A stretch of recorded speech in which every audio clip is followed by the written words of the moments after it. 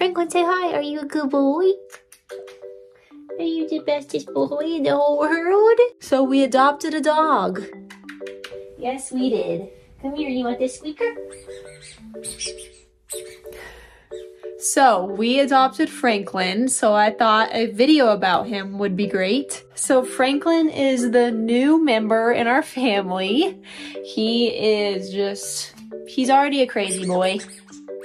Huh, Franklin? Are you the best boy? and he has been the best thing ever. So I thought I'm gonna make a video about him, just like everything you guys need to know because you've seen a lot of videos of him like on TikTok and YouTube. And I'll just tell you the full story about Mr. Franklin here. So we recently adopted and found Franklin at a local dog rescue. See, we wanted to maybe go through a breeder because originally we wanted a Frenchie or a Doberman. That was like our dream breeds to have, which maybe one day. But we just started to feel led to just look at local rescues, see what they have, because you know, these little guys, they need homes too.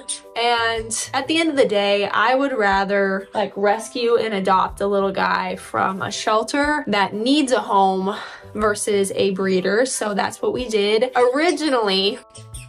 So Wyatt found him and on the website he was listed as a Great Dane. And I grew up with Great Danes. I love Great Danes so much. So I was like, oh my gosh, our first dog being a Great Dane would be the funnest thing ever. And so we were like, okay, let's just put in an application. If it's meant to be, it'll happen. If it's not, it's not. And um, yeah, so we went through that process. I was kind of going insane because you don't really know the whole time whether he's available or not. So my OCD self, my stressful self, my everything. I'm just like, what if we don't get him? I'm already attached to him. I already love him so much. What if someone else adopts him? Like all the things. So I was already attached. Wyatt was kind of just like, can you please calm down? Is that true? Is that true? His great grandpa gave him his ball.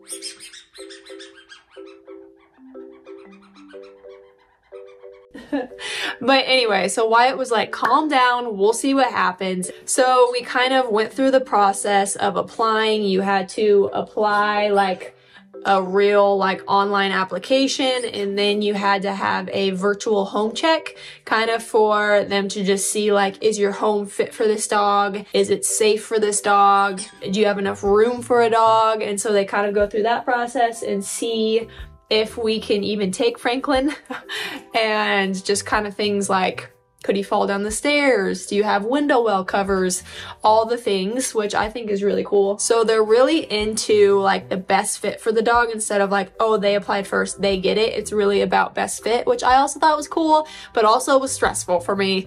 And so we went through the application, home visit, we got approved, and then you kind of just had to wait for the foster mom to contact you because he was with a foster family, a really great one too. We got to meet her and she was amazing.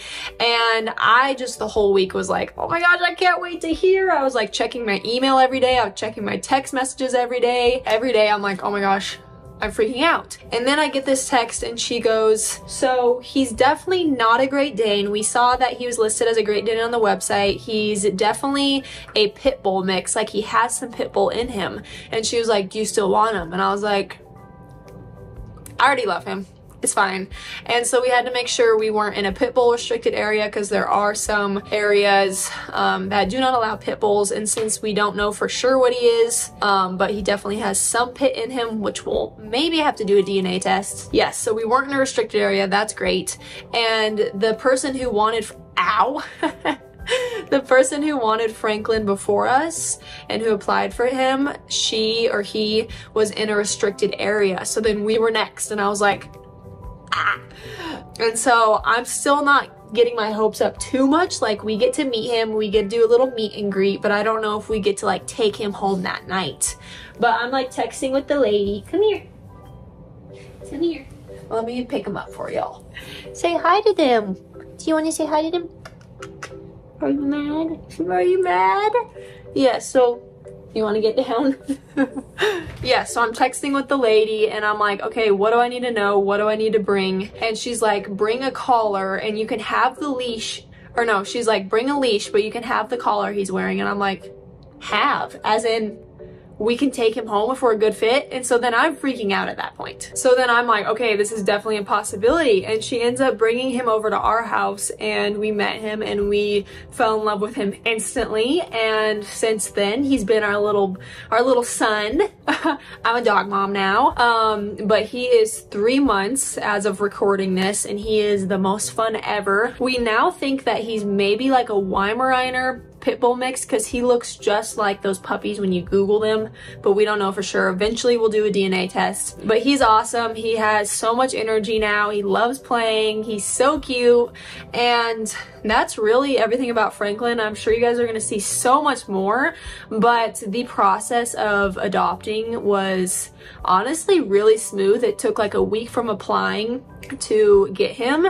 And so that was an incredible process. And if you guys are in the Colorado area, I know they work with a shelter in Oklahoma as well, but if you're in the Colorado area, we rescued him from Big Bones Canine Rescue. And so I definitely recommend it's been smooth sailing so far. Franklin has like all of his shots for his age and all that good stuff. So it was amazing. We love Franklin. You guys are going to see more of him, but I just wanted to share like the little story of him.